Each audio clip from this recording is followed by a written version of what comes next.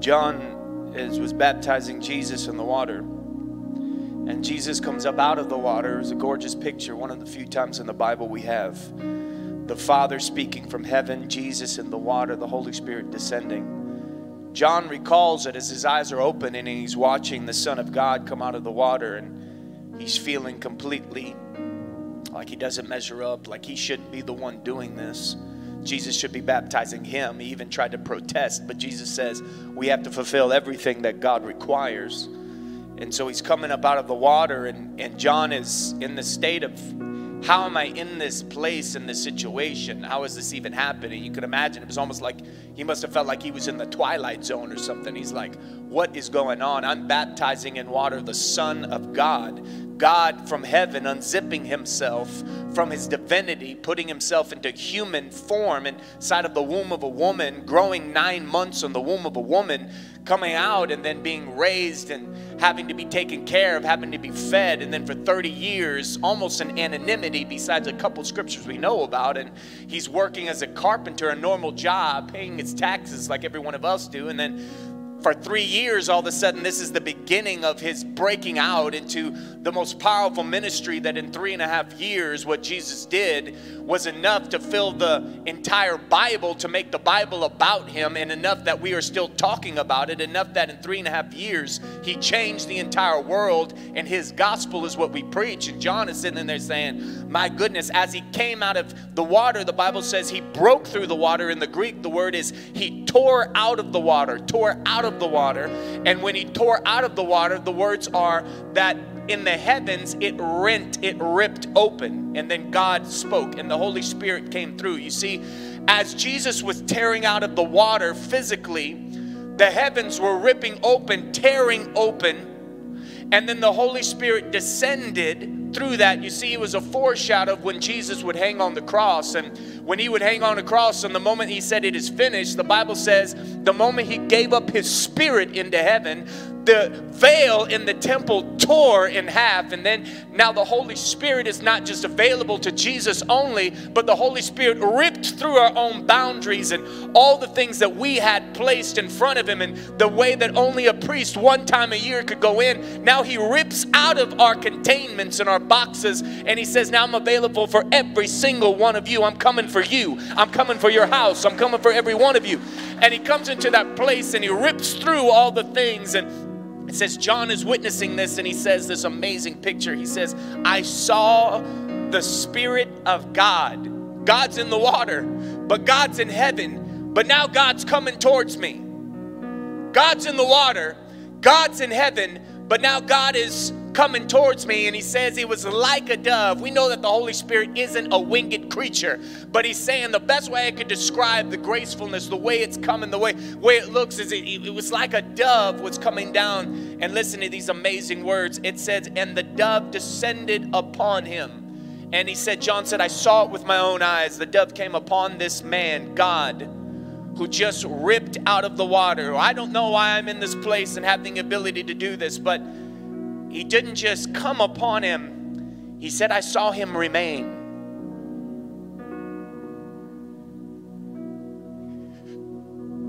Those words and remain have been tearing me up for the last two years.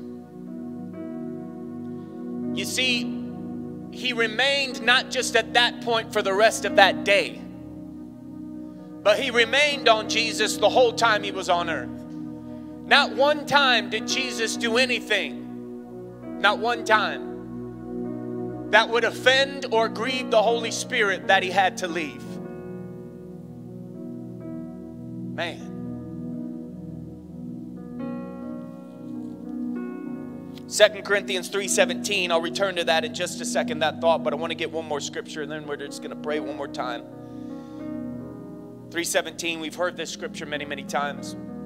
For the Lord is the Spirit, and wherever the Spirit of the Lord is, there's freedom. Anybody say amen? Lord, we love you, God. We worship you today.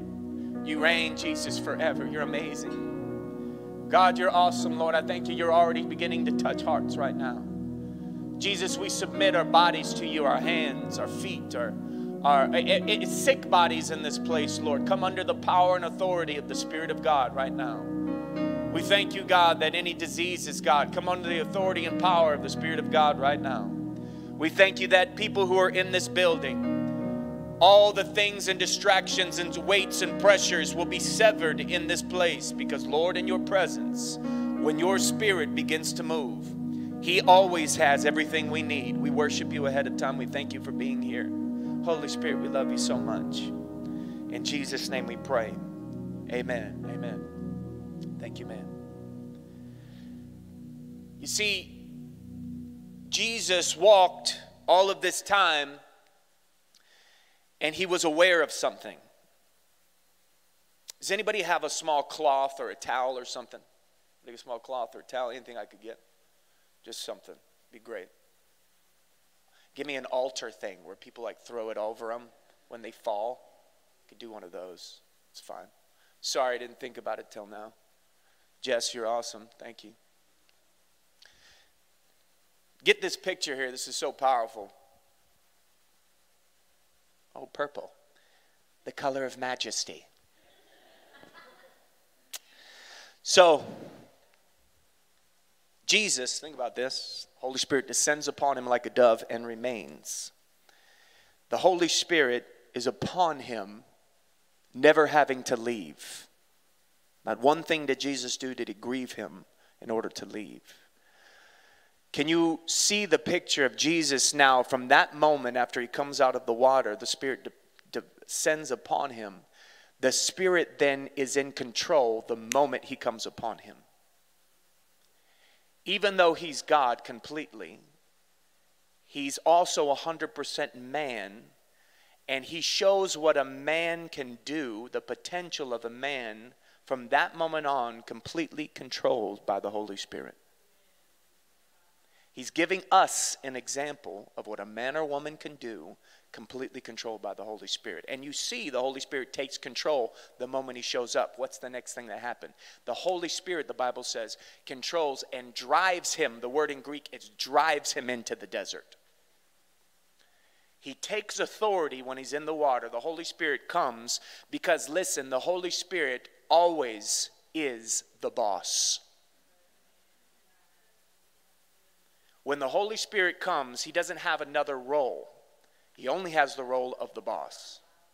Jesus knows this role because he's uh, even though even though he's God, even though this is this is this is an incredible mystery, obviously, right? The three in one, the Trinity, the one God, the three persons. It's amazing. It's beautiful. We believe it because the Bible says it, and it's a gorgeous thing. But we're seeing all three personalities right now, and it says that the Holy Spirit comes upon him and automatically takes the role of the boss, and Jesus does not question it. Jesus does not ever go against it. Jesus does not ever come up and say, wait a second, what are you talking about? I'm going to the desert. Listen, I'm God. Let me have a say in this as well. No, he doesn't. No, he allows the Holy Spirit to take control. It said he drives him into the desert. Can you imagine the awareness that Jesus had all the time of the Holy Spirit? Let me ask you this question What would it be like if we walked always aware of the dove? You know, the dove is one of the most flightiest of all birds. It's, it's extremely easy to scare away. It's, it's very skittish. It's, it's very, very, you have to be extremely gentle, very slow moving, very careful. You see, Jesus walked around always aware of it. You see, his speech was always being careful of the dove. When he walked around, when he touched people, he was always aware of if the dove wanted him to touch or if the dove wanted him not to. He was always aware of if the dove gave him the ability to rebuke or if the dove told him, keep your mouth shut. He said he did nothing unless the Father in heaven told him to. He didn't, he didn't extend his hand unless it was the Father doing it through him, through instruction of the Holy Spirit. You see what was going on? The Father was speaking, the Holy Spirit, it was in his ear, and the Holy Spirit was giving the instructions to the man God, the God man, the man who was also God in flesh. But he was showing you and I an example of what a man, a person, completely under the control of the Holy Spirit can do in three and a half years.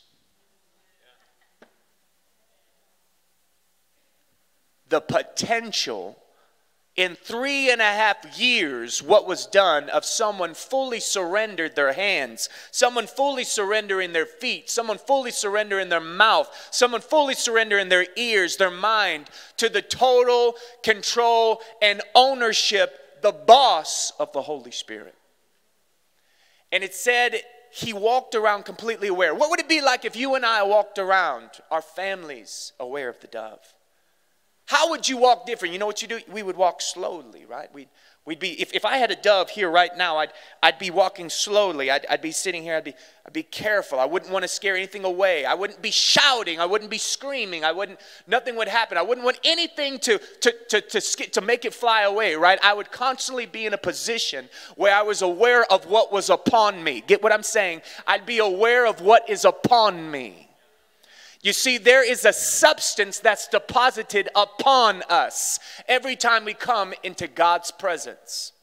There is a substance when we were saved that came in us. It's not just a substance, it's a person. His name is the Holy Spirit. But there was a separate instance that happened where not only did the Holy Spirit come inside of you when you were saved, He comes upon you when you were baptized in His power.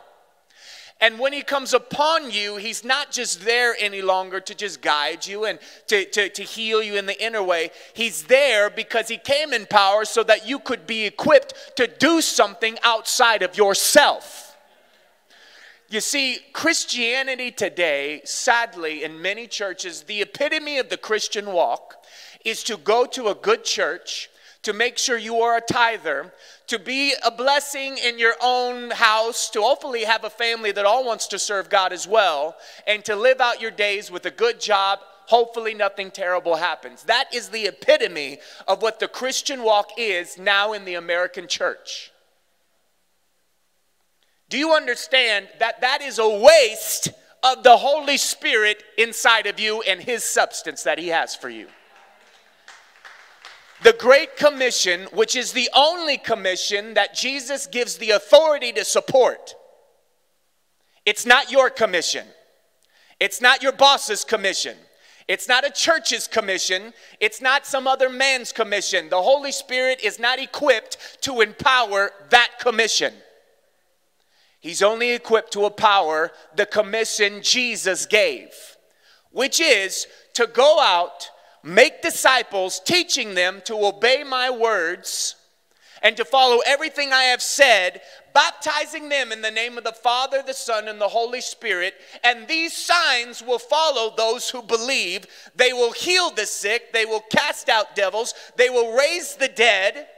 When they drink poisonous drinks, it will not affect them. When they're bitten by venomous snakes, in other words, the dangers of the world around us, if they believe in who I am, will not affect and touch them.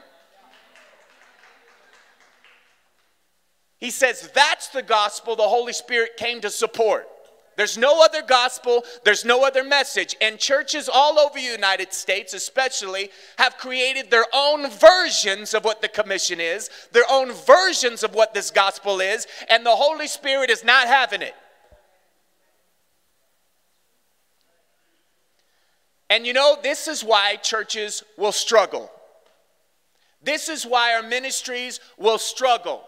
It's not because we're just dealing with people. People think that's the issue. Uh, amen. It, you know, people. People, you know, we're dealing with people, it's going to be messy. Yeah, I agree. I agree in a certain instance and all that. But here's the thing, y'all. All the people in the Bible dealt with people too. What do you think they were dealing with? Aliens? Animals? you know, they, everybody was dealing with people. So we, we know that's, that's, well, that's who Jesus came to die for. So you're going to have people. Okay. So once we get over that, let's stop making that the only issue and excuse. Let's say this Jesus gives authority behind you if you are representing his message, not your own. That's the basics, okay? The safest place to be is inside of the will of God. Can, you, can I say that again? The safest place in your life to be is not behind a barricade of policemen is not inside of a hospital wearing five masks on your face. I'm not against it if you're wearing a mask. It is not inside, it's not, that's not the safest place to be. It doesn't matter how much you incubate yourself in any way possible from the things of this world. You are no safer ever than inside of the will of God in your life. The will of God itself, the actual essence of God's will, being in God's will, is literally created with its own system of defense. That's what he just said. If you're in my will, snakes will bite you, like Paul, but you just shake them off. If you're in my will, you'll drink things because somebody thinks they could sneak something in your drink to kill you. You didn't even see it, but I saw it, and because you're in my will, I'll, I have your back. You'll say something and I won't let it fall to the ground. I won't let you be embarrassed when you represent my gospel because it's not yours. And as long as you know it's not yours, you're not going to try to do your own will in your business, your own will in your family, your own will in your church. Therefore, I'm going to back it up. And when I come in the room, Do you see? We are wasting so much strength and effort in our lives trying to do things that are not His message. And even though He loves us, even though He, he wants us to prosper, and even though He continues to work with us, His patience is amazing, His mercy is, is, is limitless, it's incredible. Of course, He's the most loving, amazing God ever. We are wasting so much energy, we're wasting so much strength trying to do something that He already gave us the recipe to say, You could have the blessed life, you could have the life you, I will protect all these things. You don't have to get more insurance policies. You ain't got to get more of a, like, you just got to be in my will. Do you know what my will is for your life? Once you find it, your family's safe. Once you find it, your marriage is safe. Doesn't mean there's not going to be attacks, but guess what? Attacks are supposed to come because the devil wouldn't be much of a devil if he didn't try to attack something that's destroying his kingdom. So, yeah, attacks are going to come. Of course they are. It's supposed to. If you ain't having any attacks or stuff going on, dear God, like, what's happening? You sitting there watching, have you watched all of Netflix? Have you watched the entire app? The app is complete. Is that what you've been doing? I mean, what else are we doing? You know what I'm saying? Like, I mean, these days, yeah, so. 2 Corinthians 3.17 we're aware now there's this there's this pres the substance. He's so aware of the substance on him. Get this a woman comes with the issue of blood. She comes with the issue of blood. She sneaks up behind him. The bible says many people were rubbing against him and touching him just trying to get healed just trying. Jesus traveled nowhere it is said theologians believe with no less than three to five thousand people following him through every city and every place he went you notice many times in the Gospels where it says that Jesus is trying to get away from them to just go and pray by himself. But once they see where he's going, they would run all the way around. He gets on a boat and they're like, I think he's going to be over there. So they all run all the way to where he's going to be. He couldn't get away. The only times the Bible says Jesus could really pray was late, late at night two, three, four in the morning. And we notice many times he is praying at that time, which makes sense because he's found napping on the boat during the day. Why? Well, he's praying all night.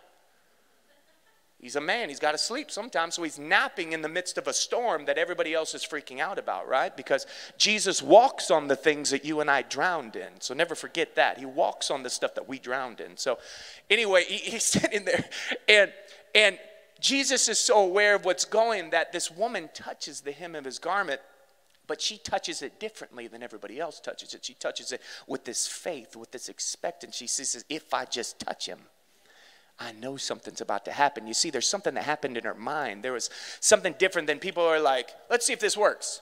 Uh, I don't know rubbing. And then somebody who says oh my god I'm, that's the son of god. That he's he's the messiah. That's somebody there. If i just can get to him i know. You see i know i'm going to be healed. You see her expectation created the breeding ground for what she was about to draw. Do you get it? Her belief already created. It created what she was going to draw. Uh, it's there for everybody but not everybody expects it to work. Not everybody truly believes it's going to work. People are just testing it out. People are just let's see if this church thing works. They're not dedicated to it Let's see if this healing thing works. I'll try it one time, and if Jesus does it, I guess I'll believe. But if not, healing's not for everybody. You know, I'm going to try this thing out. Let's just test the waters. No, no, no, no. She said, I know that I know. And see, when there's something that happens in your heart, you partner with God in belief and faith. She comes and she touches it differently. So what happens? She touches it, and he immediately stops because Jesus was so aware of the substance that was on him that even when a small withdrawal was taken, he felt the deposit go out of his account.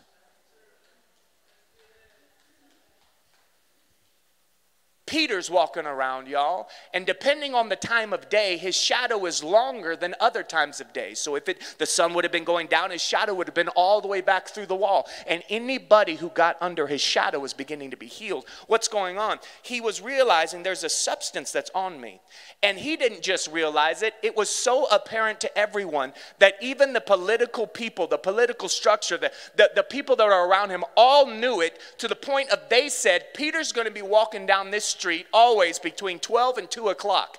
And if we'll just get people in the midst of the road, before he gets there, just lay him on the side of the road because even if he doesn't have time to talk to him, there's something that's on him. There's a substance that he's carrying that if we'll just get him in the path, then his shadow might just come across him. And if it does, they're going to get healed. Do you understand that there is a substance we are carrying, but are we aware of it? And here's the thing the substance is not potent when the man, the person, the Holy Spirit is not in charge. What am I saying? I'm saying there's a lot of people who have the Holy Spirit. He's in their lives, He's in their hearts. They enjoy it when they're in worship. They're great when they come to church. They love the whole experience. Man, for the, for the you know, hour and 15 minutes they have in church, they're like, man, this is amazing. God, you reign. You reign forever. His name is Jesus. You're the ruler of everything. You're amazing. They agree with that. Oh, for the time they're here, absolutely 100%, 100 uh, because this is God's house. So, you know, we're all like, well, in God's house, yeah, absolutely, okay. But then we get out of it and we go through the Monday through Saturday, all of a sudden we're like, man, I reign. I rule my business. I don't seek God about it, I rule it. I built this thing from the ground up. I did this. This is my family. These are my kids.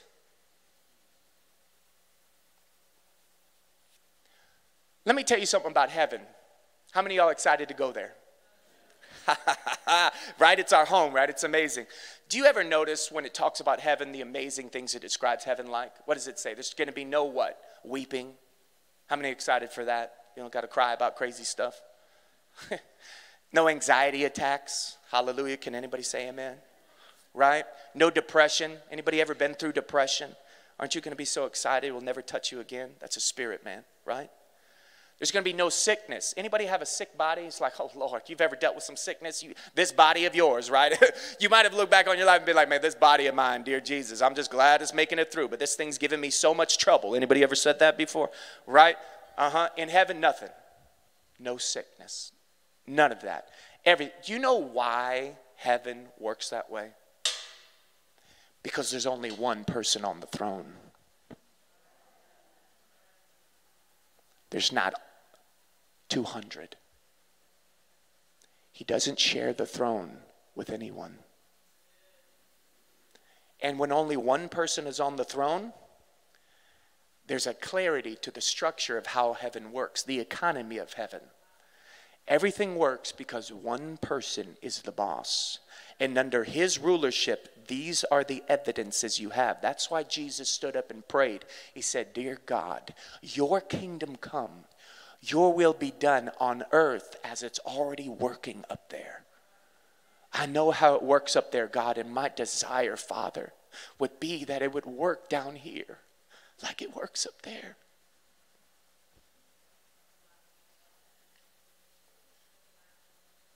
That they would just have one person on the throne of their heart, God. You gave them the Holy Spirit, the one person that they get off the throne, they give it to Him. Second Corinthians 3:17 we read it for the spirit the Lord is a spirit where the spirit of the Lord is there is freedom. Listen to this real quick. I've read this scripture so many times. I'm sure many of you have heard it.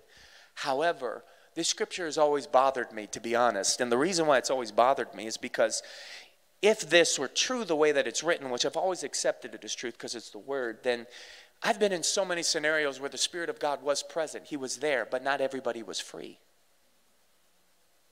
And it said, wherever he is, there's freedom. And I'm just, I've always struggled. I've believed it. I've chosen because it's the word of God. But I'm like, Lord, I've seen places where I've been, say, in church. I've been outside of church too, but in church. And, and I'll look right here in this couple. This man's being completely touched. But two people down from him, nothing. Doesn't care. Hates to be there. They're being touched. Two rows back, doesn't care, hates to be there. Nothing. I mean, Jesus is all over the building. The Holy Spirit is obviously touching people everywhere, but not everybody's free. I thought that if he was there, wherever he is, he's here, but not everybody's free. What's, what's going on? And then I found out, finally, after studying deeper, very few instances, but this is one of the ones that's a big one. When the Bible was translated into English, in this scripture, a comma was moved and two words flipped. So I'm looking and I'm saying, what does it actually say? Here it is. Wherever the Spirit is Lord, there is freedom. Wherever the Spirit is Lord, is what it is, there is freedom. All of a sudden, it came alive in my mind. I said, okay. They've made the Lord. They've made him the ruler. They've made him this place right now. In this instance, they gave everything. This person, he's not welcome. They've made him well. Wherever he's Lord, whatever church he's made the boss, freedom's about to break out. Wherever business he's made the CEO, you might have the title, but you know you're not the real boss if you're smart.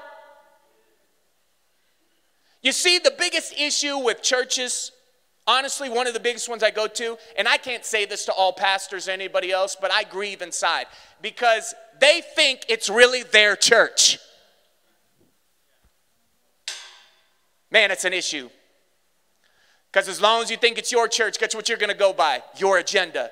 And when you go by your agenda, guess what happens? The Holy Spirit doesn't have room to be in there. And when the Holy Spirit doesn't have room to be in there, what are you not going to get? All the signs that follow those who believe.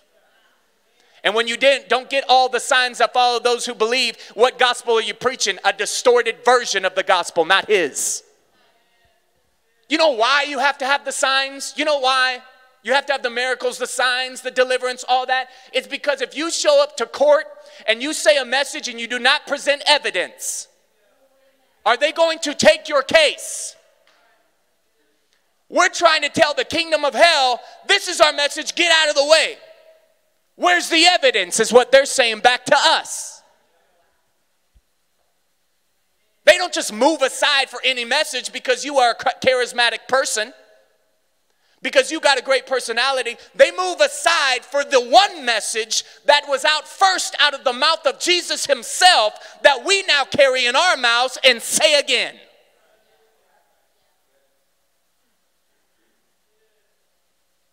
Do you really think you own your business? Really? Yeah, I worked my I worked my behind up. Okay, we'll talk about that in a second. We'll get to it. I promise the word's got something to say to you today. You really think just because you had those children, they're yours? Oh gosh. Let's continue. Wherever he's Lord, y'all, today God's going to do something. I'm telling you, he's going to shift somebody's heart. Something's about to happen in this building, and he's about to take over. He's already here. I feel him right here. He's standing right here next to me. He's already speaking to some of you. But in second, you're going to open up your heart. You're going to release him to do what he wants to do. And I'm telling you, outside of this building, your life will be changed after today. If you'll receive the word that I'm sending your way, these are seeds. Is your heart open to the seed? Or is your heart already hardened? If it is, you're going to leave the same today. But remember, if you have soil that's ready to receive, I'm not telling you my thing, I'm giving you the scripture of God, the Bible.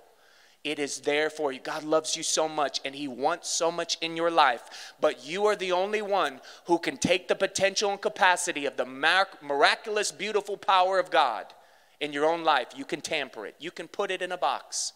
Remember, Jesus came to His own hometown, and remember what happened. He could not could not do many miracles there. It's not that he didn't want to. Jesus, even as powerful as he was, is only restrained by one thing. When your perception of him and your unbelief abort what he wants to do. But I'm telling you, I've sent some hungry hearts in here. I sent some people who really, you've been praying for family members who haven't been saved, and you're ready for them to get saved. I see people in here, you've been sick long enough, and you're like, God, I've prayed so many times and I'm ready for this to happen. I know people in here, you're saying, God, I've been asking what to do with my life, and I've been trying my best, but I need clarity on what you're saying. It's going to happen for you today. But it all requires one simple shift, not 15, not 20 different things. I could give you 20 steps to this and 15 steps to that, but I'm telling you, if you'll just shift the one main thing, get off the throne Put him on it. I promise things will line up. Zechariah 4 6, then he said to me, Beautiful, this is what the Lord says to Zerubbabel. It is not by force, come on, it's not by strength, but it's by my spirit. What is he saying? Zechariah is about to go. He's prophesying to all of the armies, and he said, Listen, I know you're about to do this. You're outnumbered. You're in a situation where it's way above yourself, but remember, it's never been about you. he said, Remember, it's not about you. It's not about all the force. Don't add more soldiers. That doesn't matter. Give them what you got. Don't, you don't got to get 15,000 more chariots. You don't have to have any more of this stuff. You ain't got to try to manufacture this in your own strength because it was never about your strength. It was never about your might anyway. It's about my power. It's about the Holy Ghost power. It's about if you know how to surrender or not. And that's the question of the Christian walk. Yes, you're saved. Yes, I, I, believe you're going to heaven, 100%. But do you know how to surrender on this earth or not?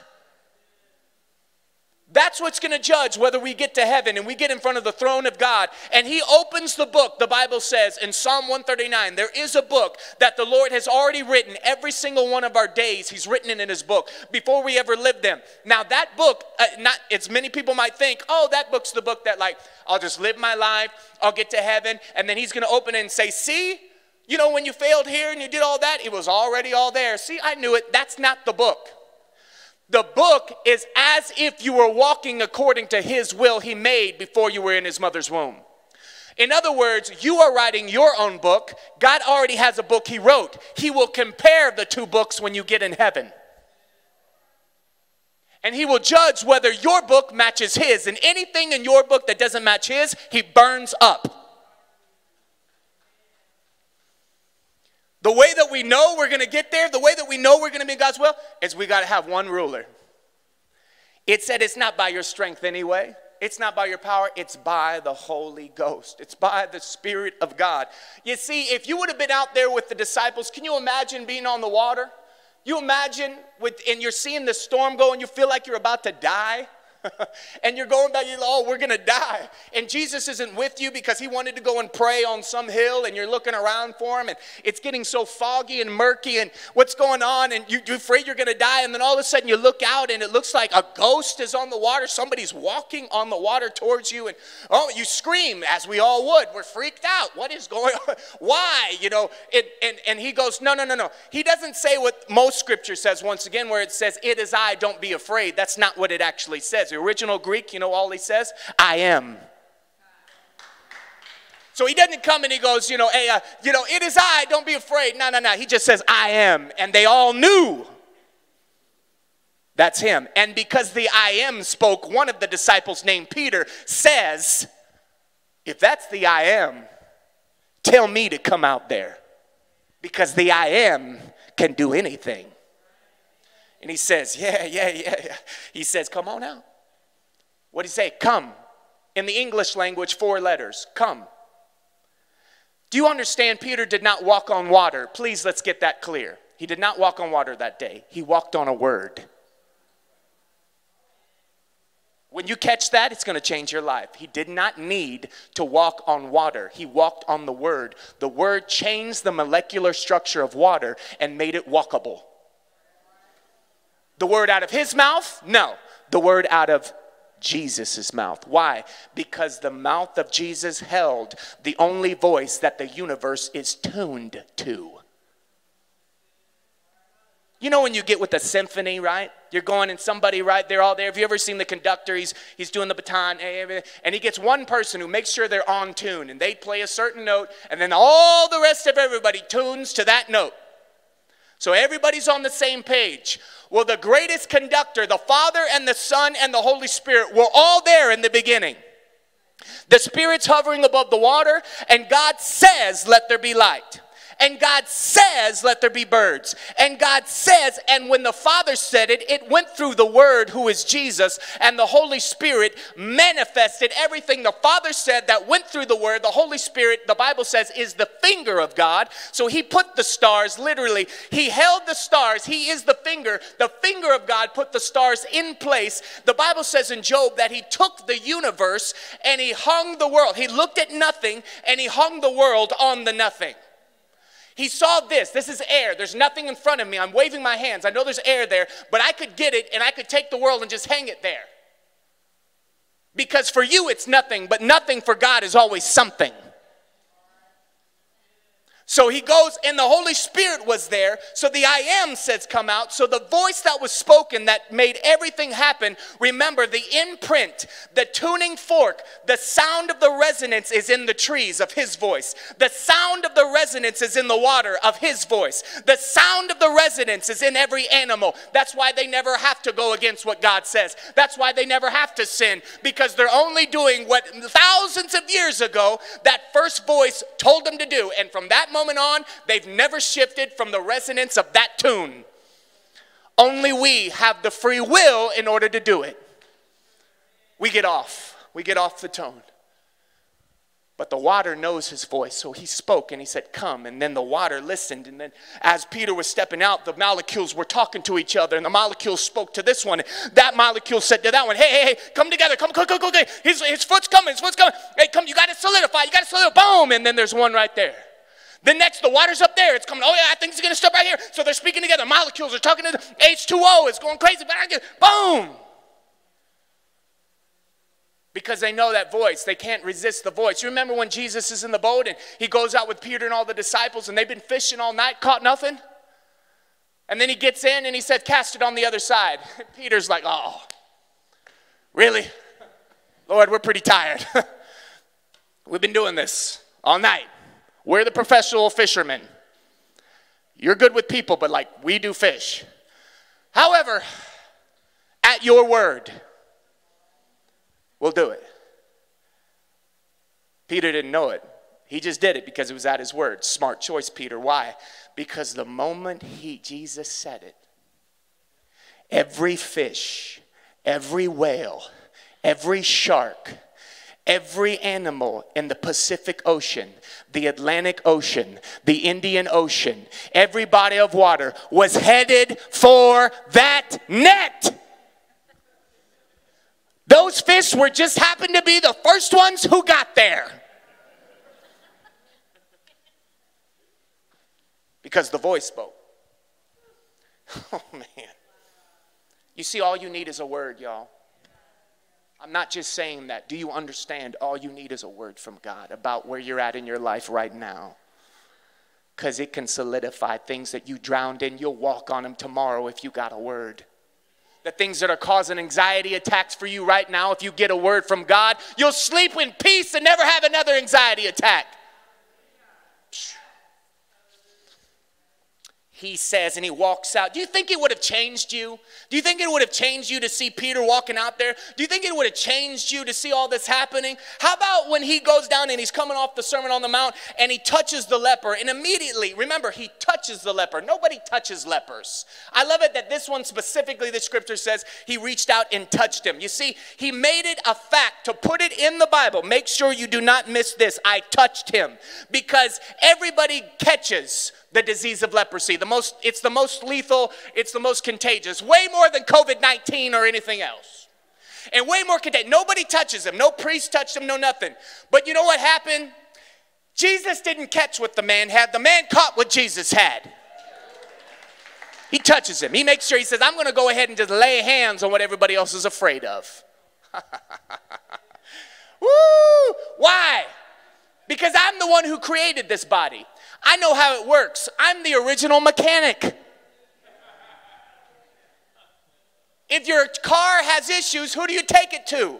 You might try to watch a lot of YouTube videos and figure it out yourself, and every once in a while, maybe you're good, right? Hey, and you feel pretty cool as a man or a woman. You're like, yeah, I fix my own ride now. You know, I put in my own brakes. You know, maybe it makes you feel amazing. Awesome. Keep going for it uh, because they'll rip you off a lot of places. But you go back to the mechanic the person who made and manufactured the car, right? who made and manufactured your body, then why in the world? Thank God. Hey, doctors are amazing. God uses doctors. God uses the miracle power of doctors. God uses medicines. I totally 100% all that. But I'm telling you this have you gone back to the original designer? You know, he's got millions of body parts floating around up there. You got issues with your knees, I guarantee he's got a few billion. You got issues with your ankles. Do you see what I'm saying? Do you think it would have changed you to see all that? If you say yes, I'm sorry to inform you, you're lying.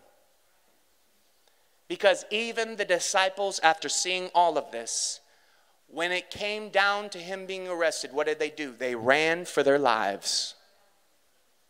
They deserted him.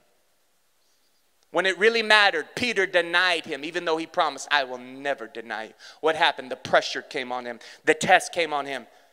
Three different times he denies him. Why? Because even if you see the miracles, but the Holy Spirit doesn't touch you, you can't be changed. Even if you hear the words, but the Holy Spirit doesn't touch you, the words don't sink deep. Even if you're in the situation, do you understand? Acts chapter 2 hadn't happened yet.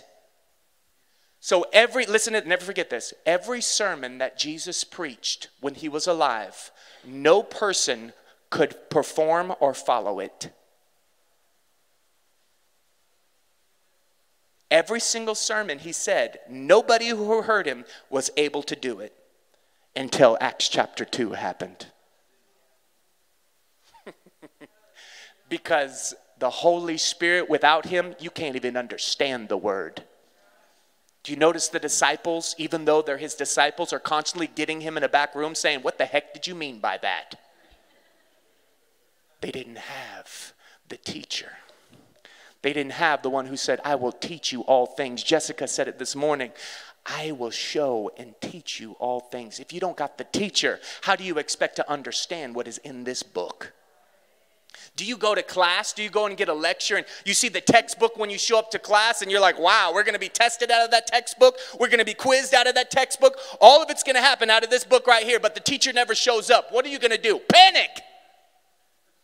Because the test's still going to happen, the quiz is still going to happen, but nobody's there to explain. You're going to do your best. Oh my gosh, hundreds of pages that's what we do every day when we get up and we have our devotions without inviting the Holy Ghost. That's what we do every single time we go to church and we just expect we'll just know the word without inviting the Holy Spirit. If the teacher doesn't show up to the classroom, you're not going to understand when you have questions. Every time you open the word, you got to invite the Holy Ghost before you open the Bible. Say, Holy Spirit, you're the teacher, I'm the student. Help me see Jesus in this book. Help me see you, God. What are you trying to say? Holy Spirit, I need your help. Every time. But I did that like a couple weeks ago. Doesn't he already know that I need his help? Yes, but here's the thing the Holy Spirit is such a gentleman, I'm telling you, y'all, unless you invite him, he never barges into your life. And when you go to sleep, you're going to have to do it the next morning. And then you're going to have to do it the next morning. You got to invite him every day because he will never assume his dominance. And here's the incredible thing about God this shocks me. Do you know any other owner, and I'm about to prove all the things he owns in your life, but do you know any other owner who does not demand the property that he owns? I'm about to show you how he owns everything in your life, but he does not demand it, he wants you to give it willingly. What a God. What a God. You might think real quick, your plans are pretty good right now. You're like, man, you know, Gavin, this is interesting. this is good. I'm, I'm, feeling something from it. I, you know, I could let him in maybe here and here and here, you know, but I got some good plans. My wife and I, we had our five year combo at the end of this, uh, at the beginning of this year. You know, we have our five year plan, you know, financially. We took the uh, Financial Peace University. and, you know, uh, Dave Ramsey really helped us out, you know right? So praise God, all of that's good. But let me tell you your plans versus God's plans. 1 Corinthians 1 24 through 25. Let the word of God speak to you. 1 Corinthians 1 24 through 25. But to those called by God to salvation, both Jews and Gentiles, Christ is the power of God and the wisdom of God. Here it is. The foolish plan of God is wiser than the wisest of human plans. And God's weakness is stronger than the greatest of human strength. Let me put it in layman's term. Your greatest idea is God's dumbest. The strongest you could ever get is even weaker than God could ever try to get.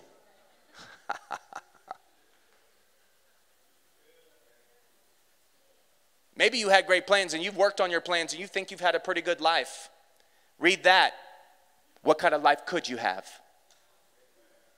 You think that's good? Jesus says in Ephesians 3:20, we all know it, I'll do exceedingly above and beyond all you could ever ask. That touched somebody. Somebody uh, when I just said that, you've already God's been speaking to you this word, this verse. I felt it go out into the atmosphere. I'm telling you when that hits you like that and I just confirm, the Holy Spirit is about to do a quick work. I will do exceedingly above and beyond all you could ask or think or imagine. Now, please understand why he's able to say that. God can never speak anything that's a theory. Do we get that? He can only speak truth. He doesn't try to speak the truth, He is the truth. Do you understand? It's not something He doesn't try not to lie. He cannot lie. Do you understand? So, for God to speak something, it cannot be theory true. It has to be tested, proven truth. Well, how could God test that if it's in the future? Because God is already completely in the future. Watch this.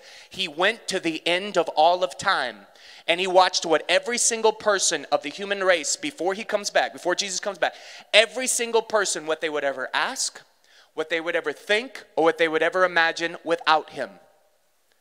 He listened to all of them and he said, I can do better than all of it. Therefore, I say, I can do exceedingly above and beyond I can ask. He went to the end of time, made sure it was proven, said it.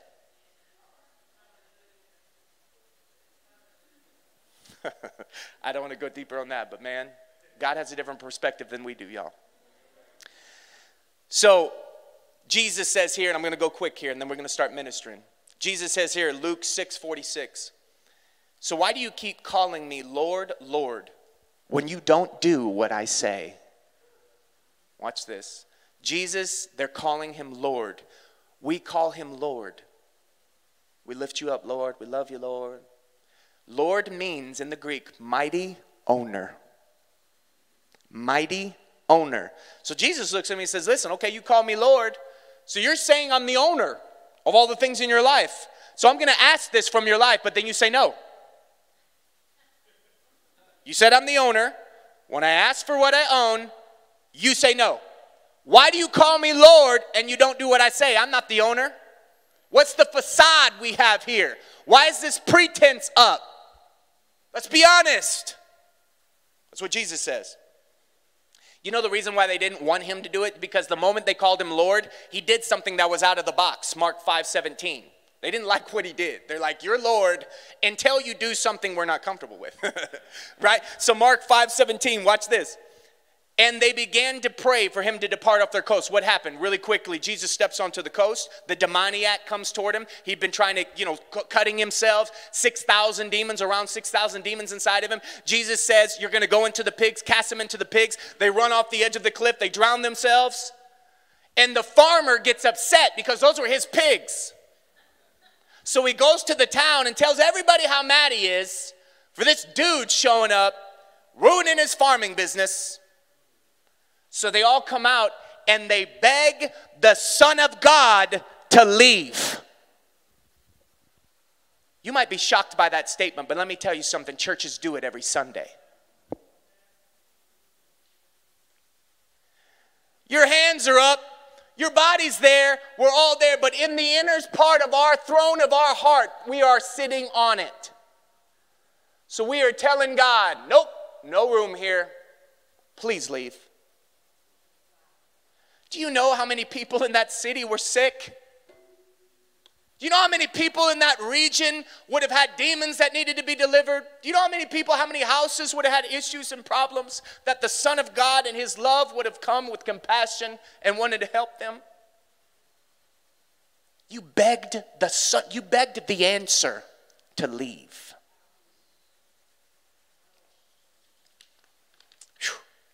James 4:13, God owns your tithe. He owns your, your money. So Bible says tomorrow with your time is the first thing God owns, your time. And and he says, Why do you say to yourself, you know, I'm going to go here tomorrow and do that tomorrow and have all these plans?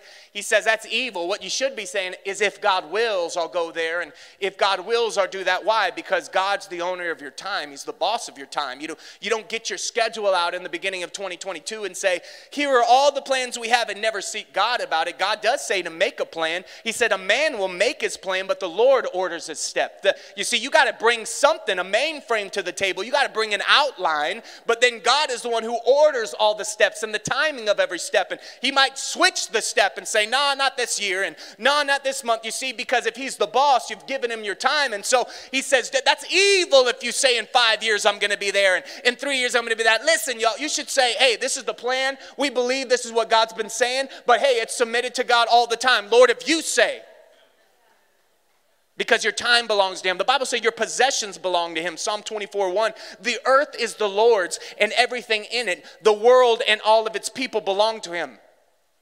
The earth is the Lord and everything in it, the world and all of its people. And so this is twofold, but let's start with possessions. Do you really think you own your car?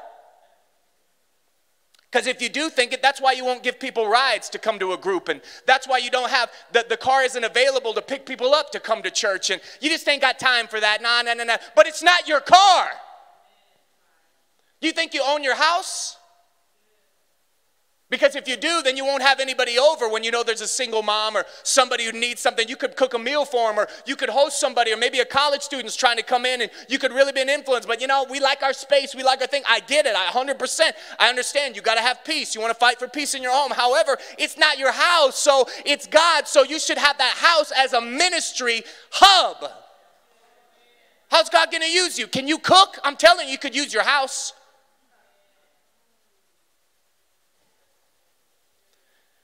He owns your money. Mark 10, 17 through 31. Not going to read it all. The rich young ruler, do you remember? Falls at the feet of Jesus. What does he say?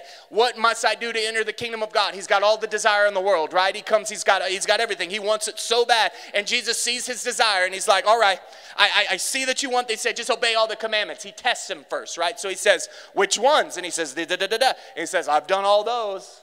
I'm good. And he says, Jesus at that moment realizes that I want to be closer to this man than this man wants to be close to me.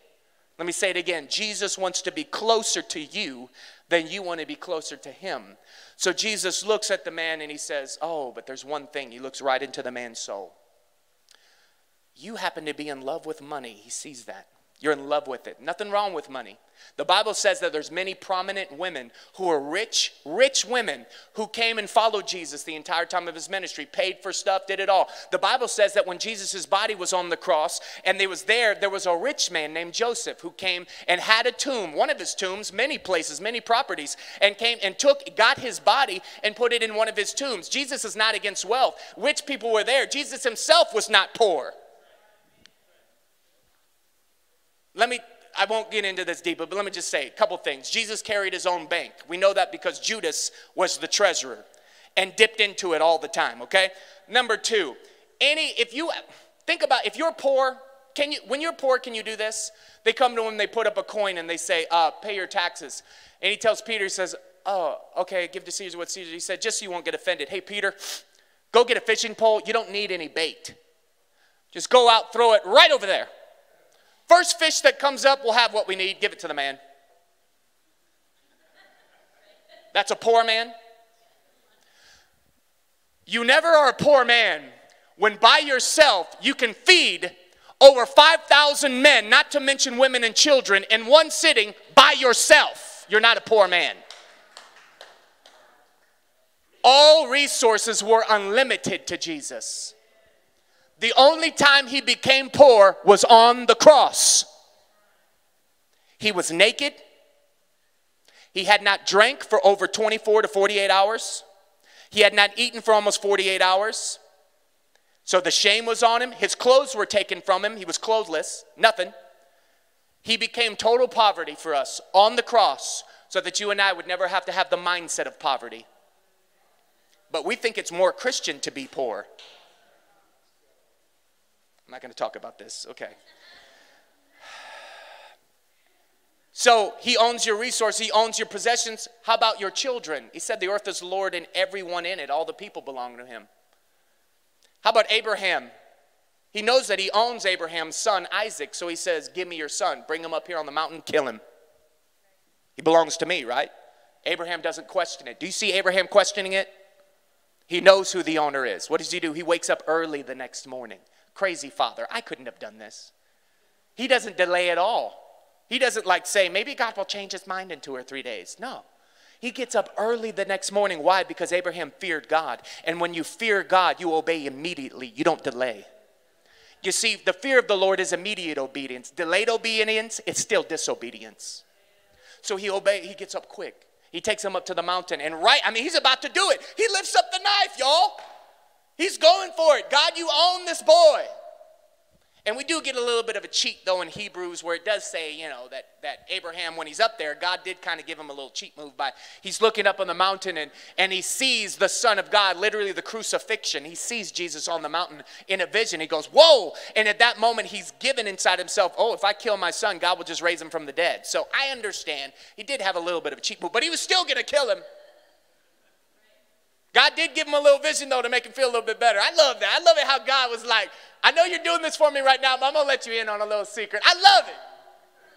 I love it. He's like, I know this is really hard for you. You know why God gave that to Abraham? Obviously, for some theological reasons and all that. But can you imagine what Abraham was feeling? Taking his son, knowing he's about to kill him. He's just doing out of sheer obedience. But God cared so much because Abraham was his friend. So even in his emotional torture and state, he says, I'm gonna let you see something real quick. This should make you feel better. I love that. So he goes up there, he picks up the knife. Say, oh, you don't got to do it. You fear God. Why? Because he knew he owned him. How about Hannah? Hannah couldn't have any kids.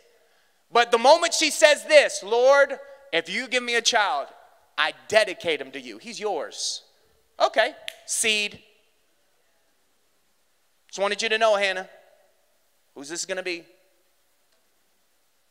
You see, if you feel like you own your kids, you'll talk to them whatever way you think you can, whatever way you want to. If you feel like you own your kids, you'll, you'll have a certain amount of patience that you think they deserve based on how you feel that day.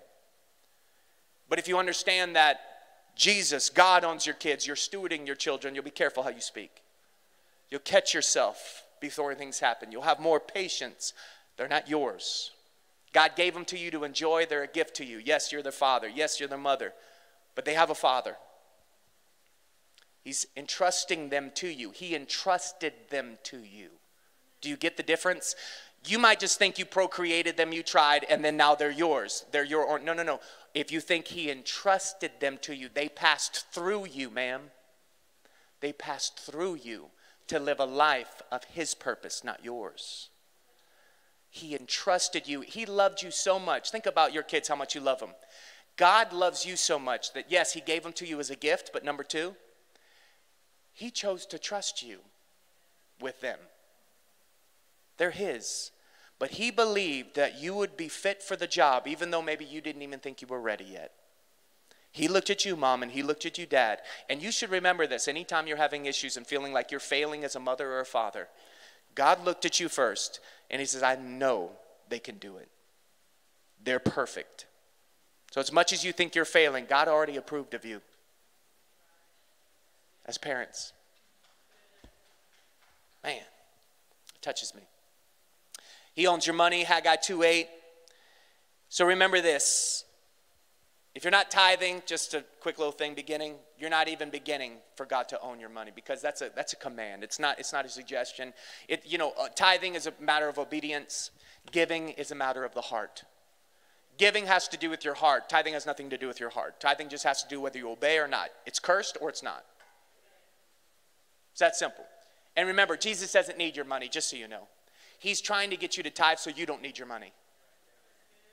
Jesus doesn't need your money, but he's trying to get you to tithe so that you don't need your money. That's why you have to do it weekly. Do it weekly because you're continuously telling yourself, this does not rule me. I can give this away freely. I'm not worried. God's my provider. That's what you tell yourself every time you do it. You need to do it for yourself, to heal yourself, to heal your worry and anxiety. And, and, as a matter of fact, in, in giving, just so you'll know as well, if you want to get out of debt, you don't save your way out of debt in the kingdom. You need to save, you need to be smart, all that. Let God speak to you about all that. Joseph did it, it's a smart thing. Just, okay, What I'm saying is, you give your way out of, out of debt in the kingdom. Remember, He provides seed to sowers, He doesn't provide seed to people who are sitting watching people sow. Hear what I said? He provides seed to sowers. He didn't provide seed to people sitting watching people sow. If you want to have more seed going through your hand, you have to sow more seed. You sow your way out of debt. You sow your way into becoming the greatest giver you could have ever imagined. I say this to churches everywhere, and I'll only say this once here because I don't want to get into it, but this does mess with people. But please understand where I'm coming from. You are selfish as a Christian if you do not want to be a millionaire. You're selfish if you don't want to be a millionaire. Gavin, what are you talking about? Well, there's over 150 kids that we have in Casa Helena in Guatemala. These kids have been through every kind of abuse, been through every kind of pain you can think about. If they would tell their stories, one story would floor this entire place under the power and presence of God because of what He's done. Because none of us could imagine it. Do you know what got him out of those places of abuse? Money. Do you know what now over 103 widows that we built homes for and that we feed every single day? We bring the food, we have we take doctors up there, we have their medical every single month until they go to heaven. We put stoves in. You know what built those people's prayers? Yeah. Money. Do you know what built the over 30 something acres now that now we just received our first million dollar check last year to build a hospital for a surgery clinic now to take care of cleft palates? You know, a million dollar check. You know what that is? It's called money. Do you know that now we have a place that we're going to be able to have our own hotel above the orphanage? That when our teams come, we don't have to just go at all the.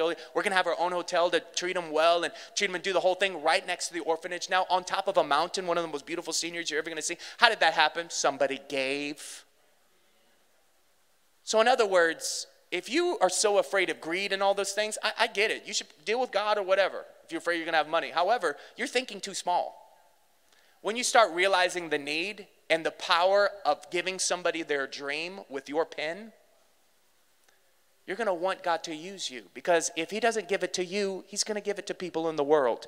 Because even people in the world many times give better than people in church. Because even people in the world know that supporting orphans and widows and the poor is a good thing to do. Don't be afraid of it. Don't, don't make money religious. It's not money that's the root of all evil, it's the love of money. It's if it controls you. But remember, tithing and giving keep the control away from you. As long as you're a tither and you're a giver, I promise it's not going to touch you. That's your protection. God will tell you to give again if you're getting weird about things and trying to, He's like, oh, no, no, give, I promise you. The moment He knows what's going on in your heart, and the moment you start getting He'll be like, give it, give it away. Oh, He's rescuing you. He's rescuing you from going to hell because of the greed that could destroy your life. I, I, promise. But He wants you to have it, He wants to give it to you. Can you uh, play that track for me in the back? Just play that for me real quick. Read this last scripture. Is anybody sense God in here? Feel the presence of the Lord on this? Jeremiah 29 11. I know the plans that I have for you, says the Lord. They are plans for good and not for disaster, to give you a future and a hope. If you'll just trust in God's plans, He's a great owner. He knows how to give you the best. He wants you to have the best. His plans for you are only good, and His plans for you are only hope. He still believes in you even if you don't believe in yourself. Mother, father, He believes in you. I want to tell you that first. Daughter, son, He believes in you. But in order for all of the authority and power and resources of heaven to come to your aid, there needs to be one person on the throne. His name is the Holy Spirit. God gave him to us. Jesus said, It's better that I go away so that he can come. He left us with a great owner, he left us with a great landlord. He knows what he's doing, he's been around. Never forget this the same Holy Spirit that's inside of you that I'm talking to every single one of you, look in your eyes. The same one that's inside of you, was first beating inside of the chest of Jesus. He was in the chest of Jesus, telling Jesus what to do, guiding him through every situation in his life. Every situation that could have been stressful, potential, coming against him, temptations, he was there to help. Jesus didn't give you a different spirit, He gave you the same one. He's way older than you are. He's been around for a long, long, long time. He's been through every type of depression. He's been through every type of situation. He's seen every kind of temptation come to every kind of person. He's been through every war. He's been through every peace. He's been in the midst of every trial. He's been in the chests of people for thousands and thousands of years, getting them through every potential crisis and turning it into a masterpiece of a life. He's done it before. Your problems are not too big for him. Your issues are not too hard for Him. You can trust Him. I want everybody to close their eyes real quick, and I want you to ask yourself this question. I ask people to ask this same question all over the world.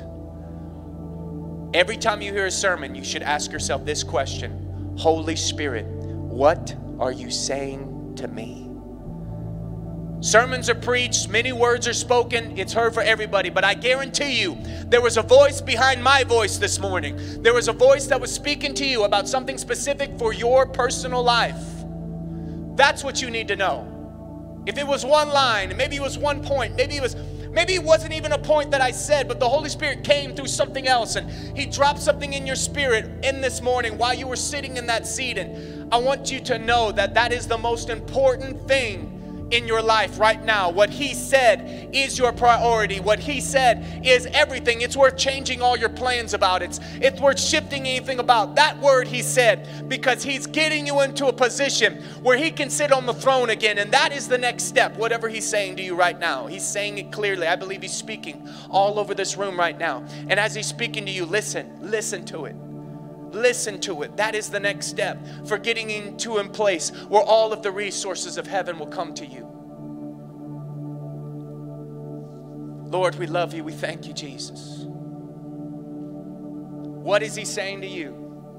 Now, as you hear what he's saying to you, here's the next step. I want you right now, inside of your heart, to dedicate that you actually have the intention to do what he says. You see, the reason why I say this is because so many times God speaks to us in church, but we don't actually intend before we leave on changing.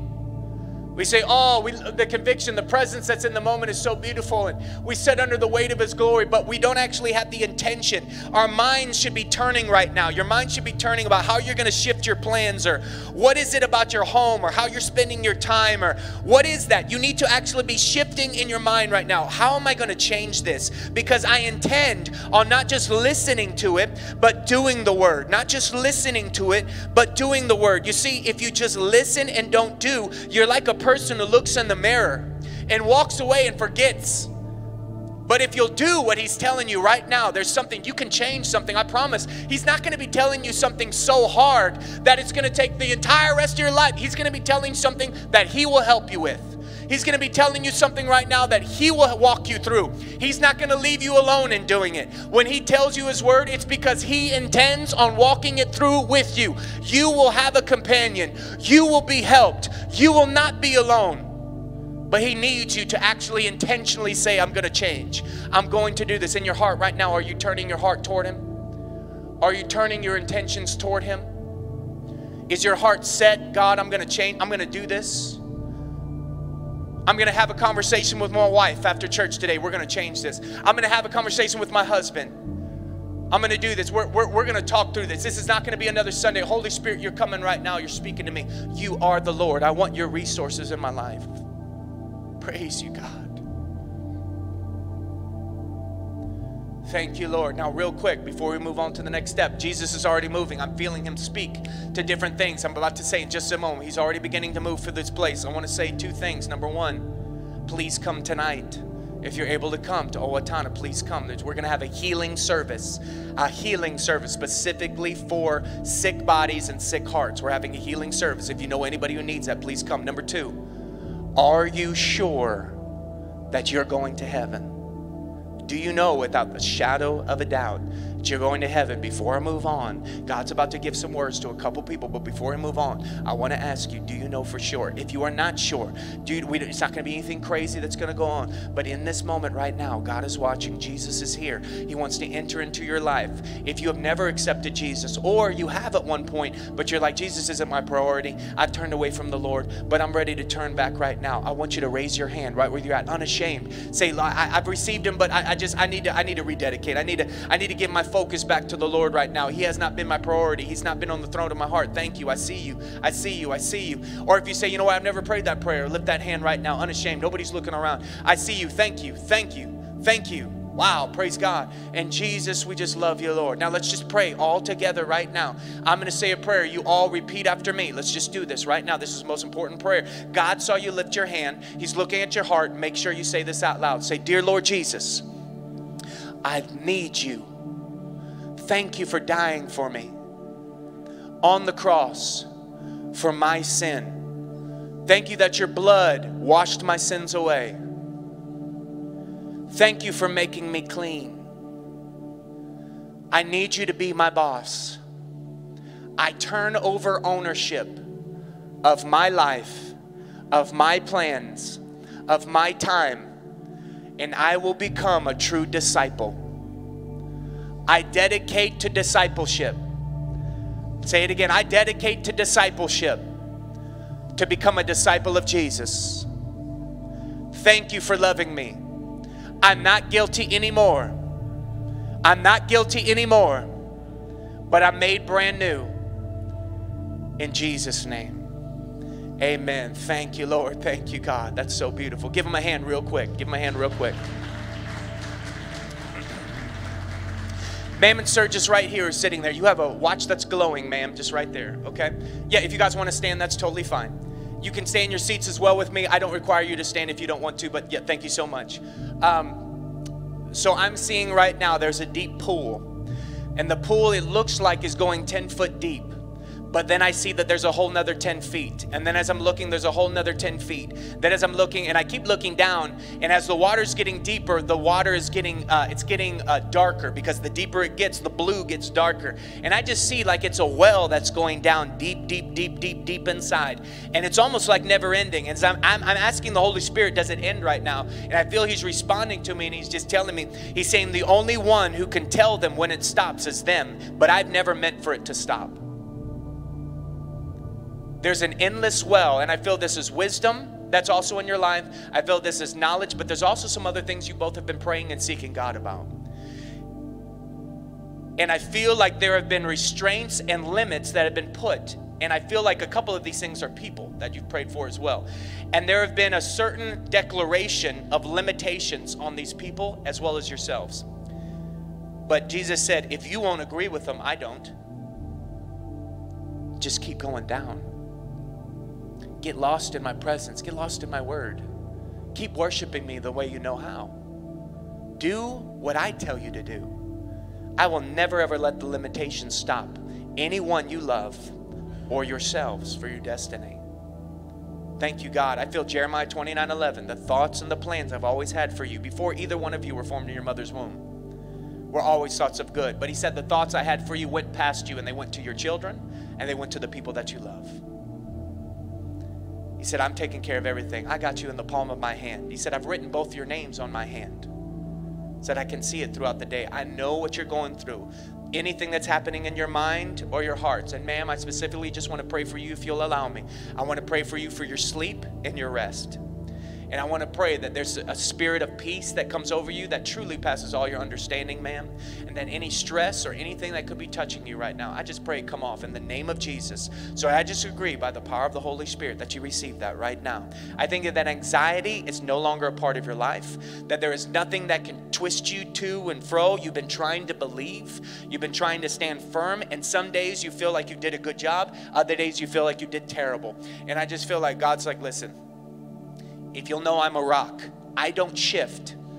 You can have all your, he said, just have your, have your feelings. Go through it with me. I'm not shifting, so don't feel like you are. I'm not shifting, so don't feel like you are. You can go through your emotions with me. Do your ups and downs, cry it out, shout it out. happy, joyful.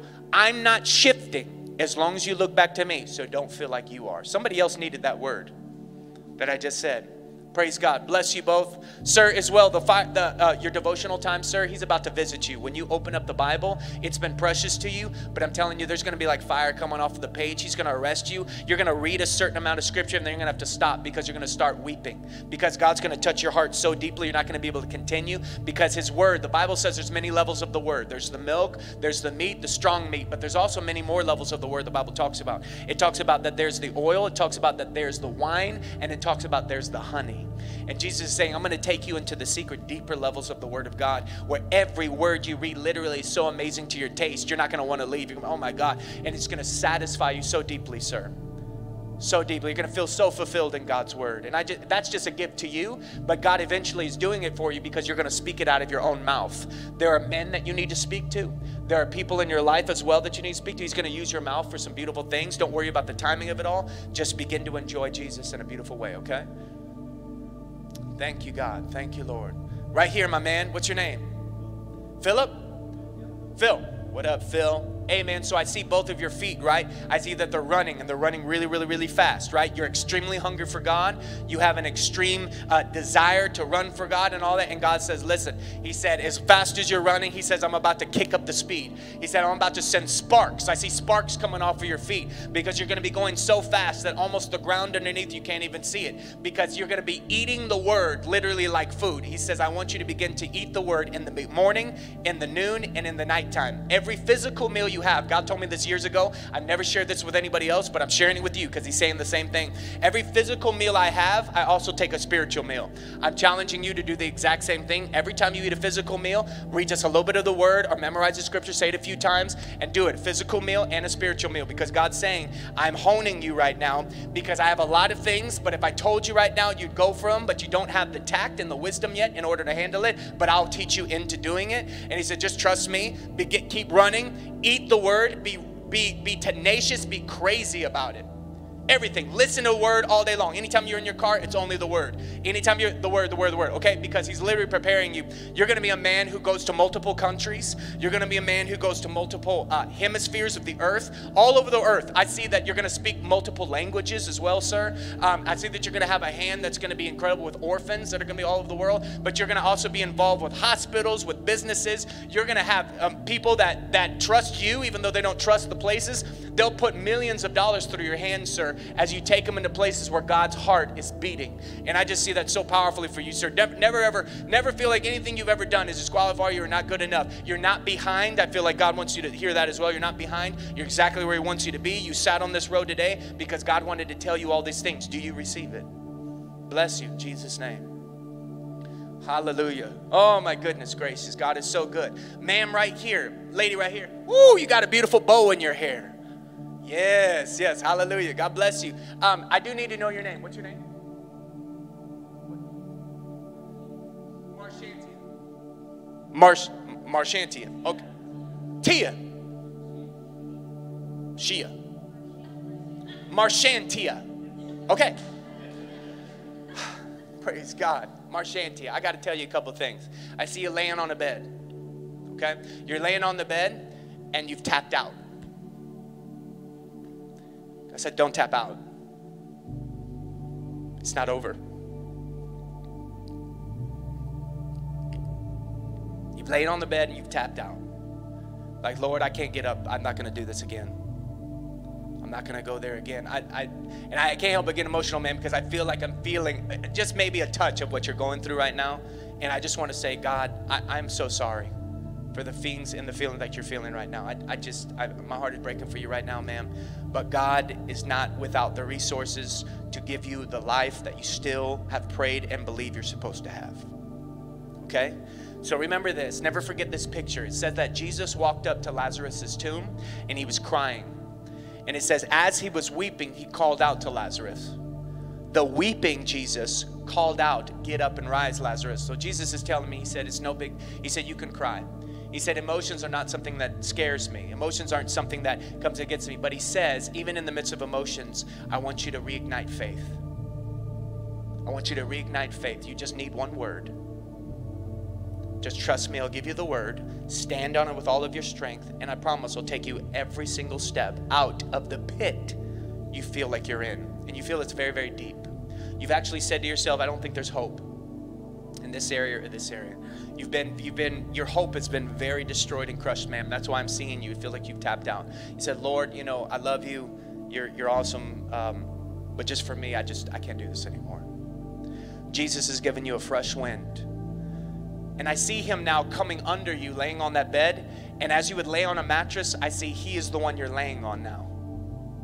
He took the mattress out and he's coming underneath you right now and he's putting himself underneath you.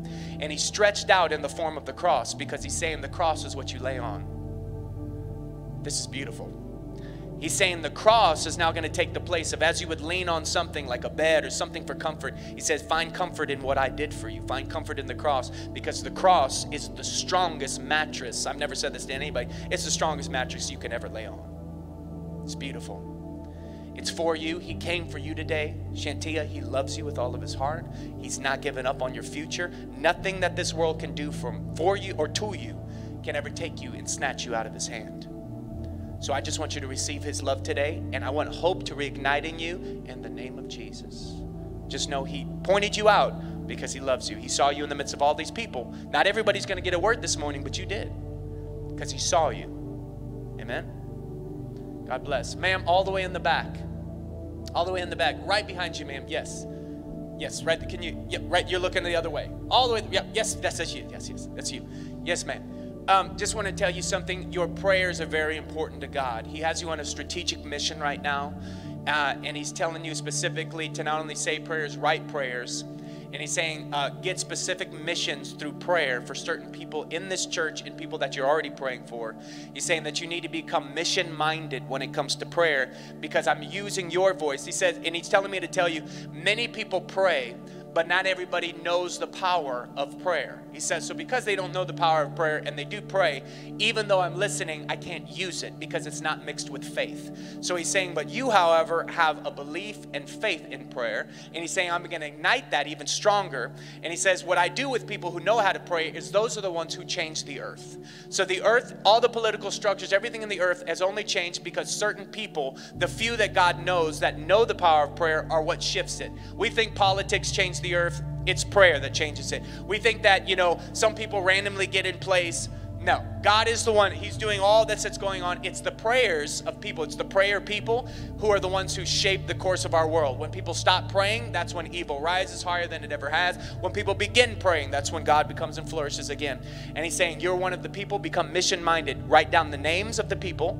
The moment you see them, He said, the way that you'll know is you'll look at them and you'll feel a burden in your heart. There'll be something that hits you. You won't know how to describe it, but the burden will touch you. Write their names down, find out their names. You don't even have to tell them everything you're praying for them about, but begin to do it. And then we watching their lives, watching their lives. Look for opportunity because God's using you on a mission, ma'am. You're about to have the most fulfilling years you've ever had. I don't know how old you are, ma'am, but you're about to have the most fulfilling years you've ever had because these next years, God is saying, I'm giving you a brand new ministry. Maybe you felt like, you know, maybe it's just time, you know, for whatever I do now as I do in my age, but that's not the way Jesus sees it. He always has something for us to do. That's why if we tap out before the time He tells us to, He's always sad. because until you go to heaven, there are things that you need to be used for. You just need to find out what's next. And I tell that to every elderly person in this building. I don't know what you think because you, if you retire from a normal job, just know you never retire from ministry. So there's still something God wants you to do, and it might be more than what you're doing right now. You just seek Him again. I promise He wants to tell you something.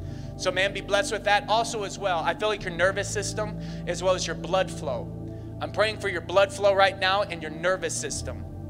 There's also, I see uh, in your right hip and the small of your back, down here on the right side of your back, um, I feel like any achiness or any problems that are gonna have anything you might be having with your back, I see that there's swelling as well every once in a while that begins to form in your feet.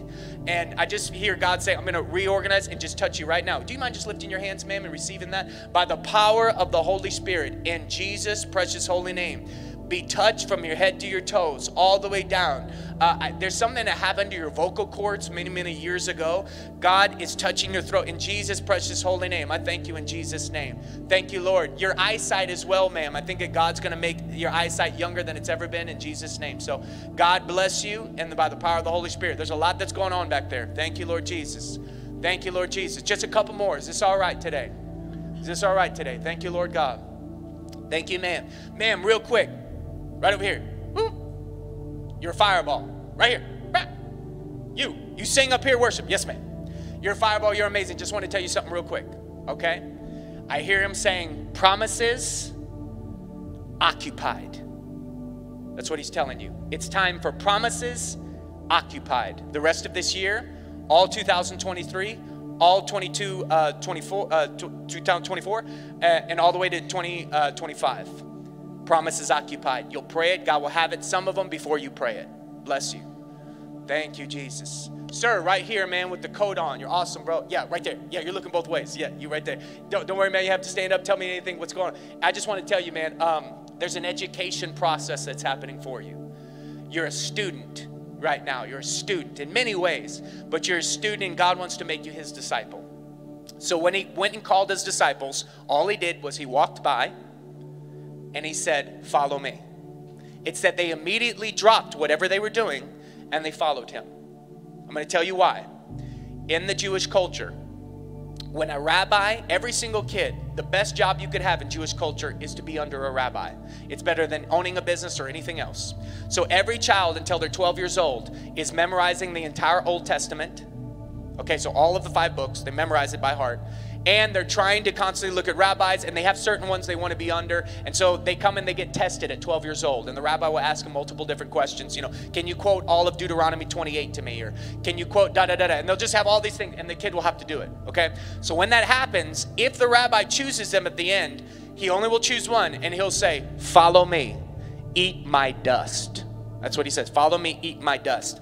So understand that every single one of the disciples that Jesus called were over 12 years old. Most of them were in their upper teens. Matthew was around 23 to 25 is what they be, believe. Okay, so so get this.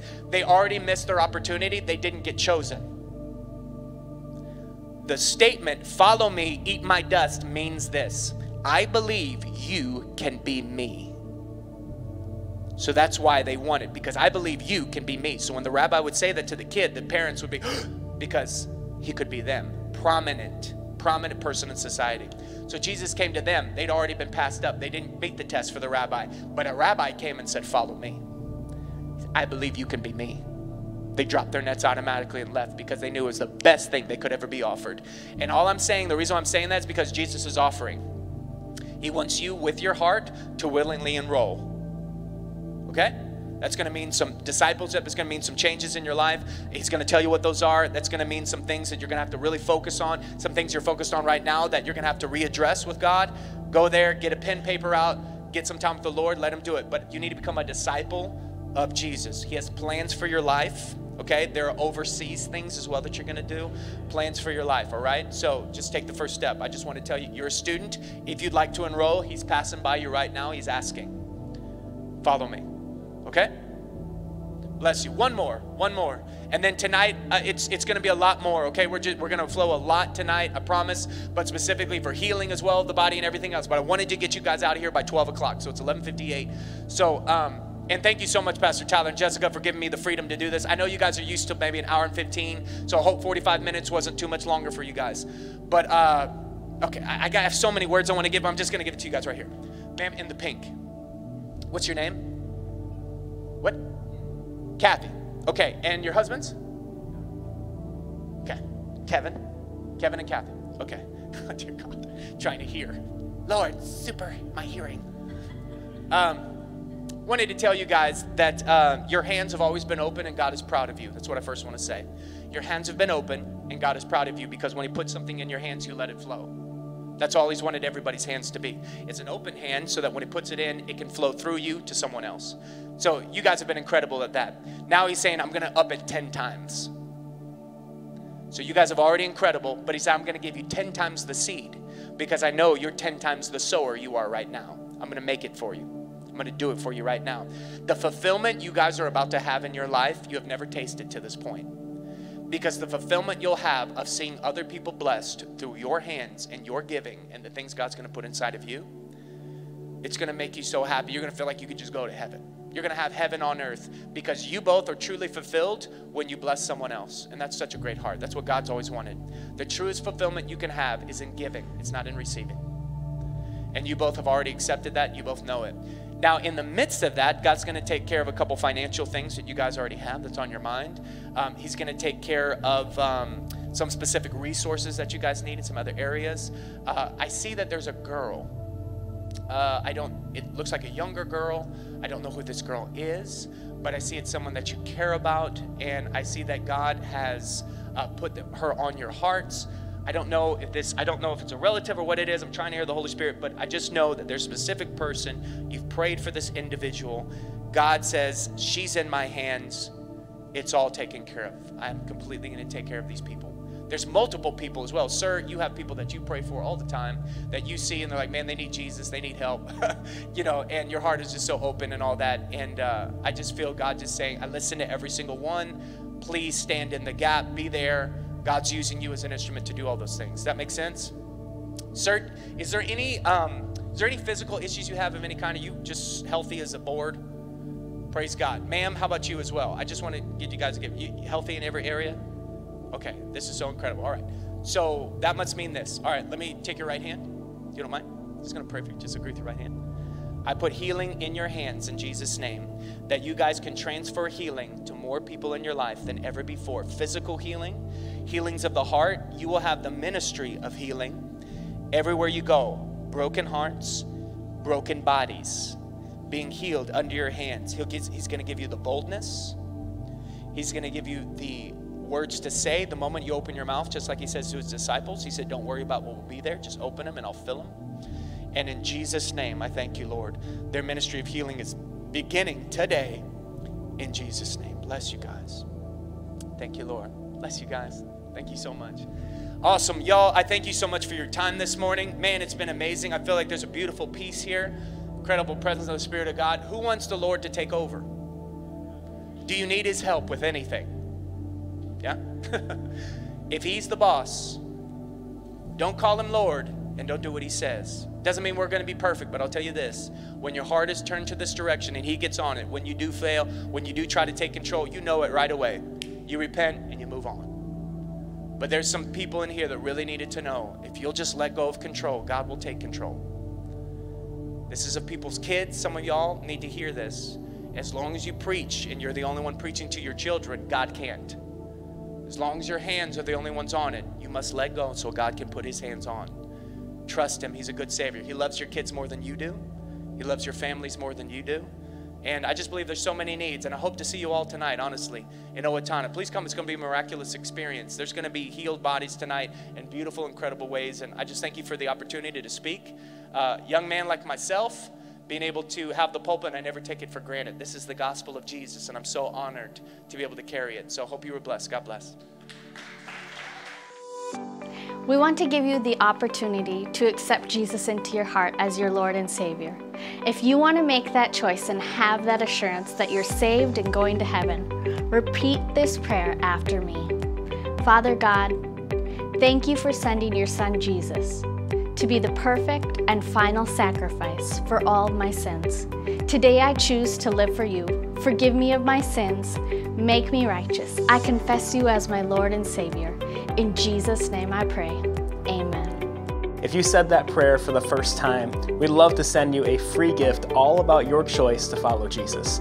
Simply email us at the link below with your email address. It's time now to give in our tithes and offerings. We want to thank you for your continued faithfulness in your giving. The Bible says in 2 Corinthians 9, verse 10, that God provides seed to the sower. Keep sowing that seed, and God will keep providing seed to sow. There are four ways that you can give. You can give online through our website, you can give through texting on your phone, you can give through our Destiny app and set it up to be automated, and you can give by mail.